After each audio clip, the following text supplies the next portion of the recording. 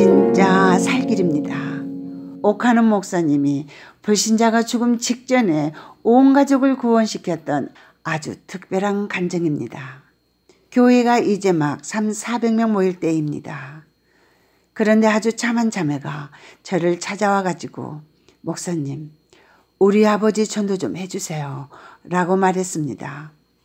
자매님의 아버지는 검사분인데 30년 가까이 검사 생활하면서 지독한 반기독교주의자라는 것을 제가 잘 알고 있었죠. 아니 당신의 아버지를 내가 어떻게 전도해요? 딸이 전도해야지. 목사님 우리 아버지 서울대학병원에 있습니다. 왜요? 말기암이에요. 수술하려고 열었다가 다시 닫아버렸어요. 소망이 없대요. 한 달 시한부 생명이에요. 이럴 때 전도 좀 해주세요. 우리 아버지 불쌍하잖아요. 자매님의 아버지 김성진 검사는 청렴결백입니다. 얼마나 청백리 노릇을 했는지 사람들이 명절이다 하면서 뭘 자꾸 들고 오니까 못 가져오게 하려고 이사를 몇 번을 했는지 몰라요. 사람들에게 자기를 노출 안 시키려고 뇌물을 안 받으려고 그랬어요. 이 사람의 전담 분야가 종교 분야예요. 그러니까 검사 앞에 나오는 사람들이 맨날 들고 나오는 게 뭐겠어요. 중이 들고 나오는 거나 목사가 들고 나오는 거나 장로가 들고 나오는 거나 똑같은 죄를 짓는 내용인 것이죠. 목사에게 맨날 못 볼 것만 보고 더러운 것만 봤다는 그런 것입니다. 그러니까 이 기독교에 대해서는 철저하게 거부 반응을 갖고 있는 사람이었어요. 그리고 자기 부인은 그냥 살아있는 불자라고 할 정도로 완전히 불교에 미쳐 있고요.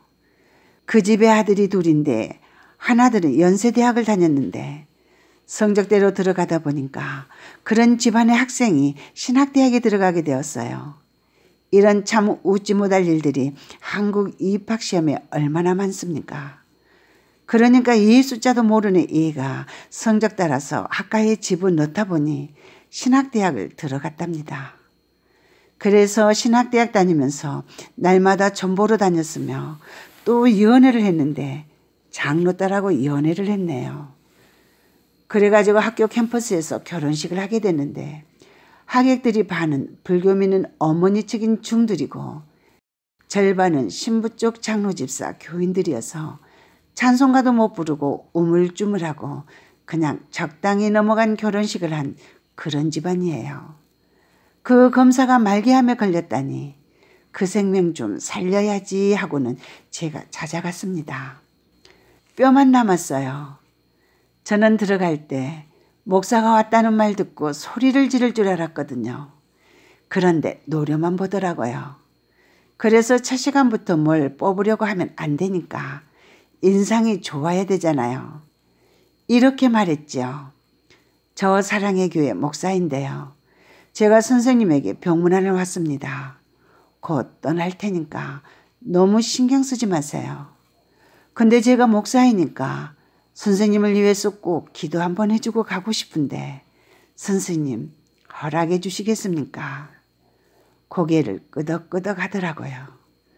그래서 머리에 손을 얹고 기도하는데 그것도 길게 하면 안 되니까 한 2분 간단하게 하고는 선생님, 제가 내일 다시 오겠습니다. 괜찮겠죠? 고개를 끄덕끄덕해요. 그리고 제가 병실을 나왔습니다. 그 다음날 제가 병원에 가야 되는데 아주 피할 수 없는 일이 생겨버렸어요. 약속을 지켜야 되는데 도무지 갈 수가 없어서. 그래서 부산 호산학교에 최용준 목사를 불러가지고 목사님이 가서 그분 한번 영혼을 건져보세요. 보람이 있을 것입니다. 라고 말했더니 아이고 목사님 제가 어떻게 가라 하면 가시라니까요. 그래가지고 사지로 끌려가는 어린 양처럼 최 목사님이 찾아갔어요. 갔더니 가족들이 전부 와 있더래요. 선생님 우리 옥 목사님 오셔야 되는데 오늘 정말 피치 못할 사정 때문에 저를 대신 보냈습니다. 저는 사랑의 교회 부목사 최홍준 목사입니다. 그랬더니 검사가 자기 좀 일으켜 앉혀달라 합니다. 그래서 가족들이 가서 일으켜서 벽에 딱 기대어 앉혔는데 그때부터 검사가 이제는 목사를 공격하기 시작하는 거예요. 담임 목사가 왔다 할 때는 예의를 좀 지켰는데 부목사가 왔다니까 이놈 새끼 잘왔다. 자기가 알고 있는 기독교, 자기가 알고 있는 목사들의 비리, 그냥 30분인지 40분인지를 쏟아놓더래요. 어떻게 합니까? 뭐 집중 포화가 날아오는데 가만히 있어야지. 다 들었어요. 한 3, 40분 그러시더니 그만 진이 빠졌나 봐요. 지쳐가지고 씩씩거리면서 말을 못 하더래요. 그래서 선생님 이제 말씀을 다 하셨습니까? 그랬더니 고개를 끄덕끄덕 하더래요. 이제 제가 말씀 좀 드려도 되겠습니까? 고개를 끄덕끄덕 하더래요. 그래서 선생님 성경 말씀 한 곳을 제가 읽어 드릴게요. 잘 들어보실래요? 고개를 끄덕끄덕 하셔서 그래서 찾아낸 곳이 고린도후서 5장 15절 그가 모든 사람을 대신하여 죽으심은 살아있는 자들로 하여금 다시는 그들 자신을 위하여 살지 않고 오직 그들을 대신하여 죽었다가 다시 살아나신 이를 위하여 살게 하려 함이라. 굉장히 어려운 본문입니다. 금방 읽어가지고는 무슨 말인지 확 와서 닿지 않는 본문이에요. 그런데 어떻게 최 목사가 이 본문을 택했는지는 모르겠어요. 난 이해가 안 돼요. 전도하러 간 사람이 이 본문을 택한 이유를 모르겠어요. 아마도 언급결에 펼치니 이 구절이 나왔나 봐요. 나는 십중팔구 그렇다고 봐요. 우리 목사들 신방 가가지고 준비가 안 돼 있으면 그냥 빨리 펼쳐가지고 빨간 줄부터 보잖아요. 그러다가 뭐가 마음에 딱 들어오는 송구가 있으면 이것이 오늘 하나님께서 이 가정에 주시는 말씀이구나 이런 생각을 하잖아요.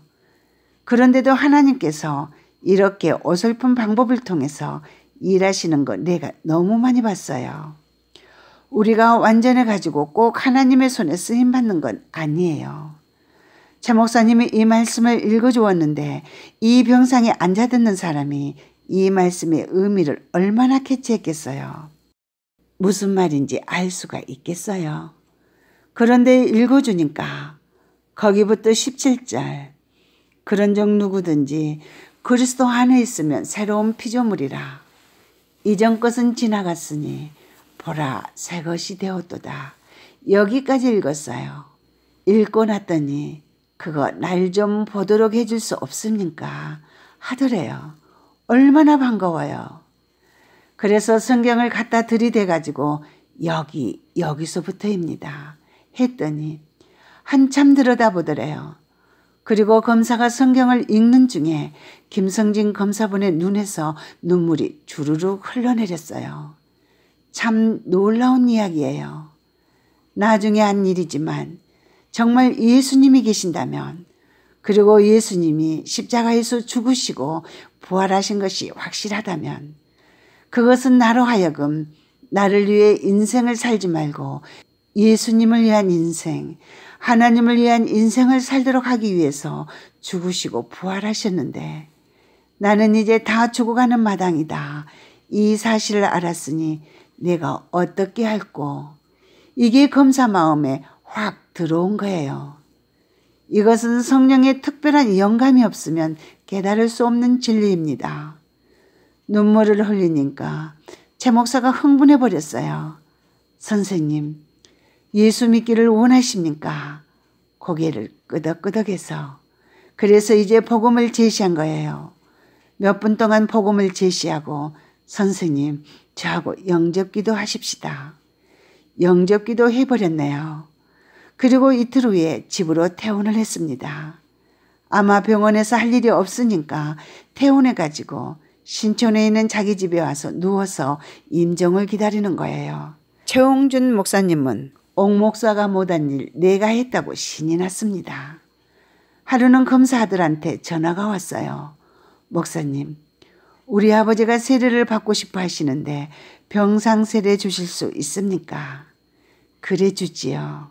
그래가지고 우리 장로님 두 분하고 우리 부교육자 두 분하고 갔죠. 가가지고 세례를 주는데요. 못 먹고 있으니까 말이 아니죠. 그런데 검사를 이렇게 앉혀서 벽에 딱 기대줬더니 목사님 제가 세례받기 전에 기도를 좀 해도 되겠습니까? 자신이 기도를 하겠대요. 그래서 하라 했지요. 한 3, 4분의 기도인데요. 제가 이 기도를 아직도 잊지 못해요. 30년을 다닌 목사의 기도보다 나아요. 참으로 회개하는 기도예요. 너무나 잘못 살았다는 거죠. 너무 잘못 알았고 너무 잘못 살았다 용서해 달라고. 얼마나 감격스러운 순간이었는지 제가 세례를 주고 왔어요. 그리고 그분은 병상에 누워가지고 이제 세상 떠날 날이 얼마 남지 않았다니까 법조교에 있는 자기 친구들이 많이 병문안을 왔지요. 오는 사람마다 너 예수 믿어라. 나는 너무 늦었지만 너는 예수 믿으면 돼. 나중에는 힘이 다 빠져가지고 도무지 말을 할 수 없도록 돼버렸어요. 그러니까 아들을 불러가지고 큰 종에다가 쓰라 그랬어요. 예수 믿으시오. 딱 써가지고 벽에 옆에다가 두고 누가 오면 손가락으로 가르치는 것이에요.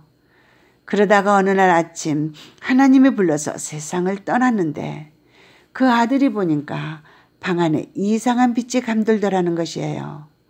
그래서 그 아들도 그때 완전히 변화되고 어머니도 변화되고 가족이 온통 변화돼서 큰아들은 미국에 지금 살고 있는데 뉴욕에서 자기 사업을 하면서 지하철에 가서 하루에 수천 장 전도지를 뿌리면서 전도를 하고 둘째는 사법고시 준비하다가 아버지 세상 떠나시는 것을 보고 다 집어치우고 중국 가서 사업하면서 자기가 돈 벌면서 자비랑 선교사 하고 다녀요.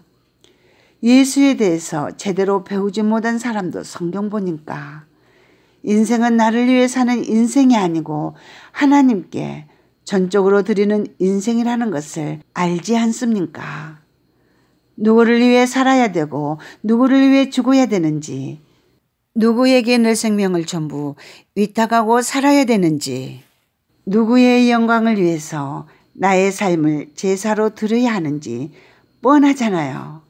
그런데도 왜 이것이 안 되느냐 말이에요.